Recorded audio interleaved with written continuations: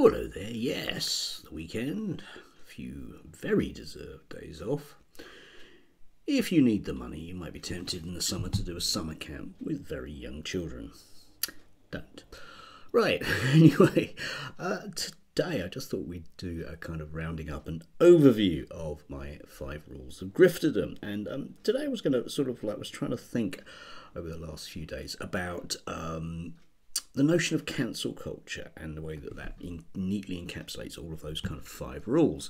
But luckily, yesterday, uh, Toby Young cropped up on uh, Patrick Christys's show on GB News, and um, I thought we'd look at my five rules uh, through the lens of Toby Young, who, don't forget, is at the apex of grifterhood. So actually, it kind of inverts some of the rules that I have, but they still, I think, stand. So anyway, let's see him in action and unpack it. Cool. Mm.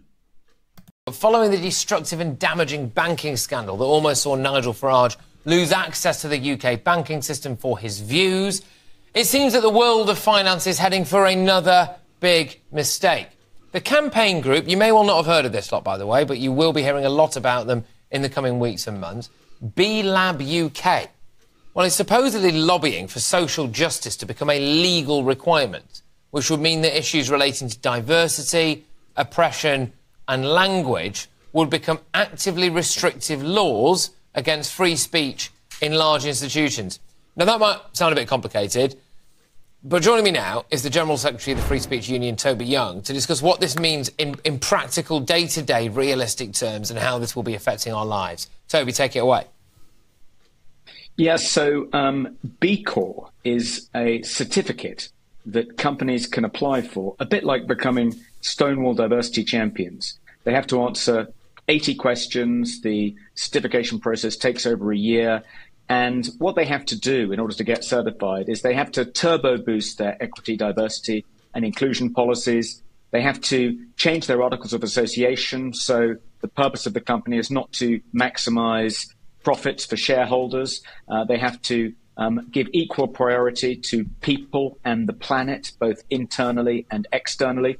Essentially, the companies have to pay fealty to the woke cult if they want to become certified as B Corps, short for B corporations. B is for benefit. They benefit the whole of society, not just the shareholders. That's the idea. Sounds quite benign and well meaning, Patrick, but what it means in practice is that if you oppose net zero, for instance, if you don't embrace critical race theory or gender uh, identity ideology in those companies, you can find yourself quite quickly purged from those companies. And we saw exactly that happening mm. in the case of Nigel Farage. Nigel Farage was kicked out, debanked by Coutts, uh, the bank he'd been with for 40 years, uh, shortly after Coutts became a yeah. certified B Corp company.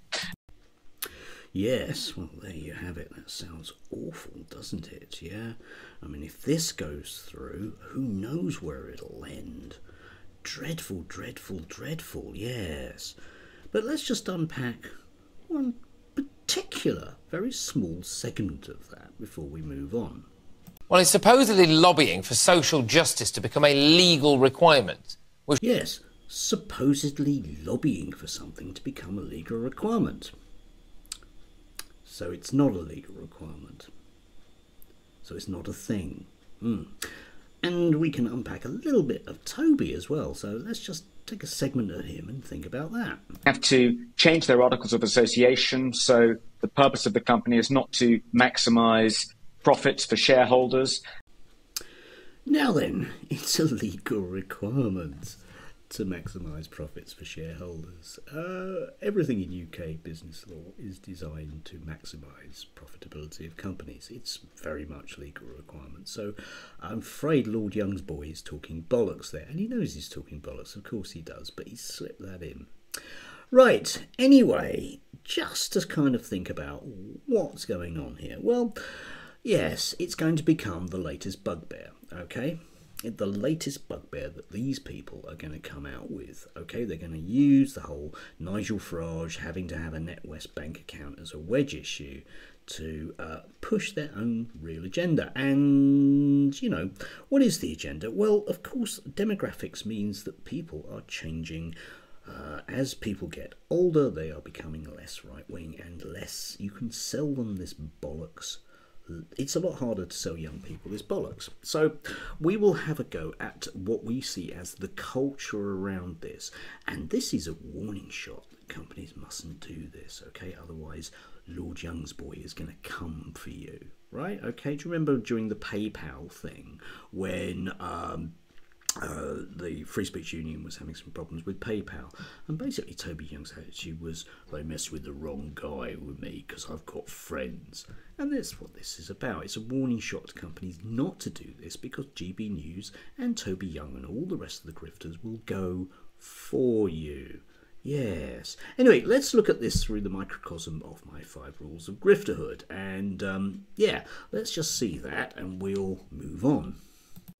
Yes, well, if you may recall from the last week, um, basically, um, our rules of grifterhood. Uh, number one is I've got a Twitter feed and I'm going to use it. Now, Toby Young being at the apex of this means that every other right wing grifter will follow him very directly on this. So we're going to get a blizzard of this stuff over the next few days everything to do with this particular company selling something. Let's be face about it. Let's be clear about this. This is simply a company selling a product to other companies to make their lives easier.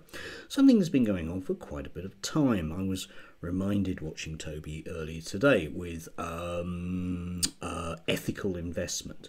During the 80s, the banking boom of the 80s, there was a huge kind of push towards ethical banking, and uh, a lot of people on the right poo-pooed it at the time. The ridiculous notion that you might not pump oil at the ground, out of the ground, or bomb Palestinians was seen as somehow woke before we actually PC would call that, wouldn't we? Yes, it's political correct nonsense. That was the thing. Toby would have been saying that in those days, but he's moved on to slightly different language.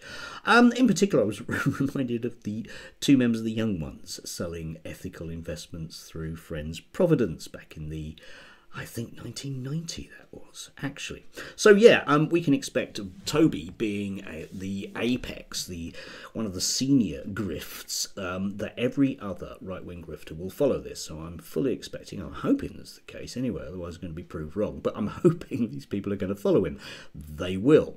Um, he doesn't fall into the me not me. Uh, rule here because uh, he's white and straight with a very odd obsession with women's breasts, but that's another story. You can look that up for yourself. So that one doesn't actually apply. He doesn't have a minority thing, although he's not very keen on trans people at all. Yes, and again, rule number three, the whole school of life thing means that no, he doesn't fall into that, okay? But the whole knowing nothing and making it a virtue, yeah, well, know, he's quite happy to pretend that certain things are real when they're not. Outrage, number four, of course he's always outraged, but he's outraged on behalf of all of his friends, and that's where the key bit of the grift comes in. This is all about policing corporations and saying to them, you had better not be part of a culture that we don't like. We're after maximizing the wealth extraction of the UK, right? We have to turn the UK into a libertarian paradise where all of the proles are working in free ports and have no human rights at all. That's what we're after. Toby Young is outraged when things don't meet that plan.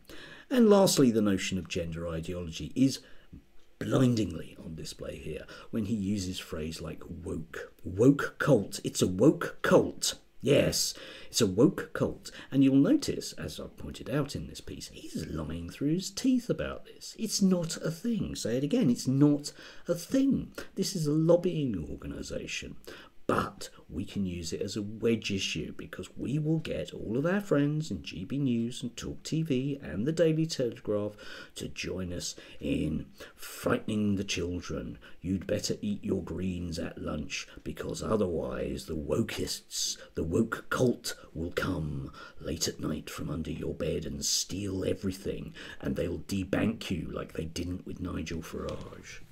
Absolute 100% grade A stuff you'll find in a field. Anyway, there we go. Do have a lovely weekend. I am very much looking forward to mine. Going to be productive. Yeah, Have a good one.